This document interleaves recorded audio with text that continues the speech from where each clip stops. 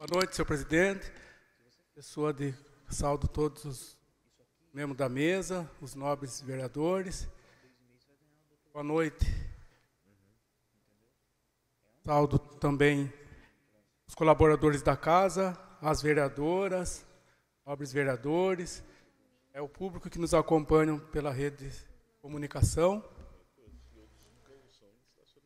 É, eu inicio a minha fala inteirando a fala do nobre Nelson é, a respeito da limpeza dos terrenos.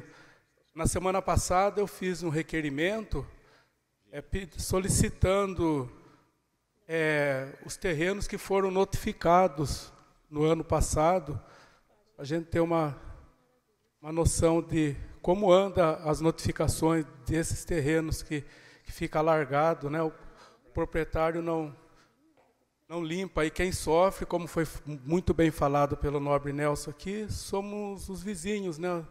Nós que moramos é, próximo desses terrenos.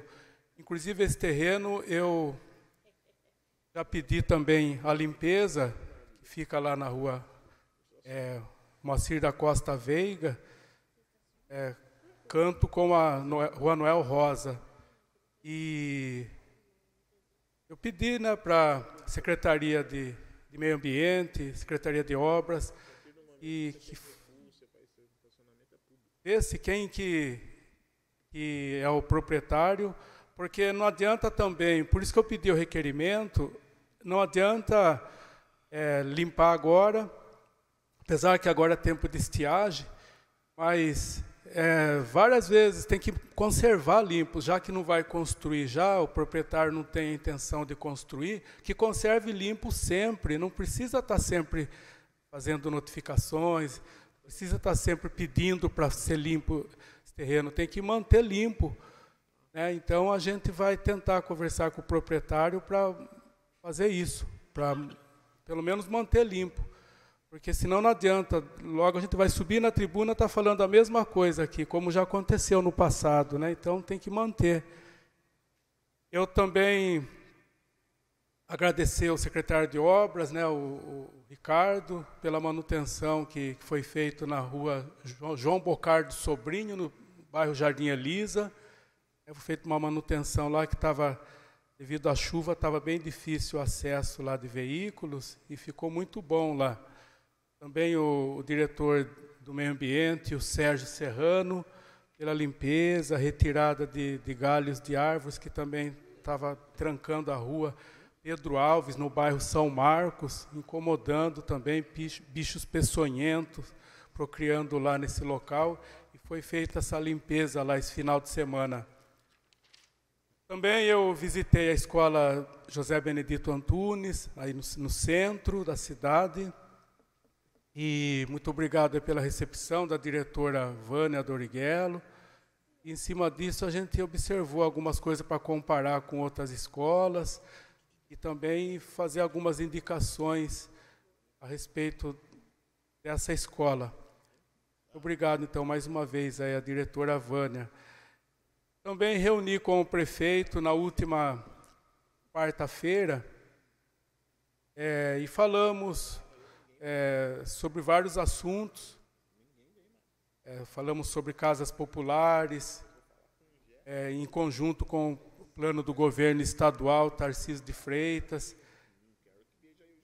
E, e também sobre é, projetos, obras, emendas, e está tá no cronograma né, da, do executivo para ser executado durante esse tempo aqui. Então, é, Capivari já está tendo muita coisa boa. E, se Deus quiser, vai ter muito mais ainda. Tem muita coisa programada aí, né? Também agradecer também por mais essa obra aí da Avenida Marlene Rossi, que foi inaugurada, ficou muito boa.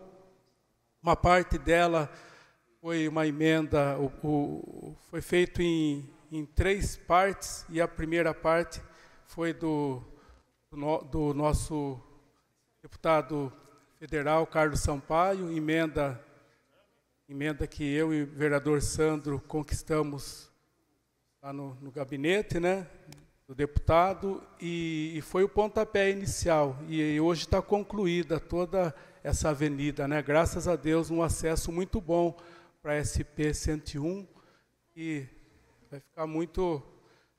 Estava é, do jeito que estava e agora ficou bem melhor, né? Tá muito, muito bem feito. Pois não. É, diante, parabenizar aí pelo trabalho do senhor e dizer que a gente fica muito feliz em fazer parte dessas grandes conquistas que está sendo realizada aí na diante que o poder executivo a gente vê inaugurando e dizer, né, dizer a importância da também dos recursos que fomos é, nós corremos atrás e diante com o deputado Carlos Sampaio, como bem dito falado pelo senhor aí, a primeira fase da Marlene Rossi, é um recurso que já foi empenhado lá do Carlos Sampaio. A gente agradece o deputado, que sempre tem um olhar especial para o Capivari. Também, não só lá, Marlene, tem a Maristênico, que o, os munícipes já estão tá usufruindo dessa rua, uma rua no centro da cidade, que ainda não tinha a pavimentação.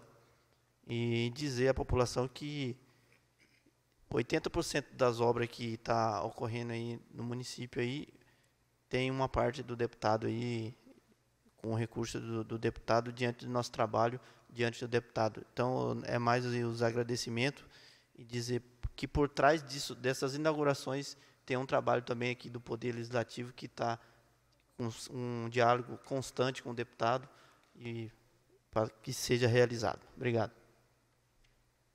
Tudo bem, passado aí o nobre vereador Sandro que de fato o, o Carlos Sampaio sempre está né, enviando né, emendas pra, principalmente para essas obras, né, recapeamento, é, e como foi falado pelo Sandro aí, obrigado aí mais uma vez ao nosso deputado, né, Carlos Sampaio, e sempre nos lembra, né, sempre lembra da, da nossa, nossa cidade.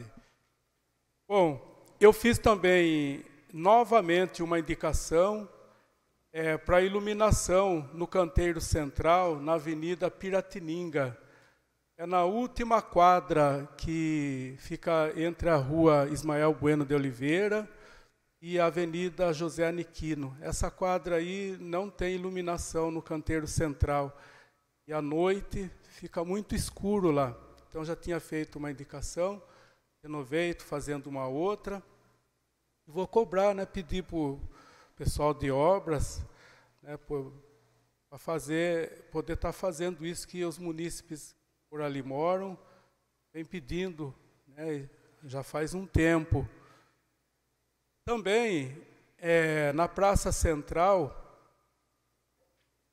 é, tem uma infiltra várias infiltrações de água pluvial e quando chove, essa água é arrastada na quadra ali. Os comerciantes que estão pedindo está tá causando um, um certo desconforto para os comerciantes, porque quando chove, a água arrasta a terra e depois é, o, o, povo começa a pisar em cima dessa terra e, e, e causa um certo desconforto para todos, né? tanto para os clientes, mas também para os proprietários dos comércios.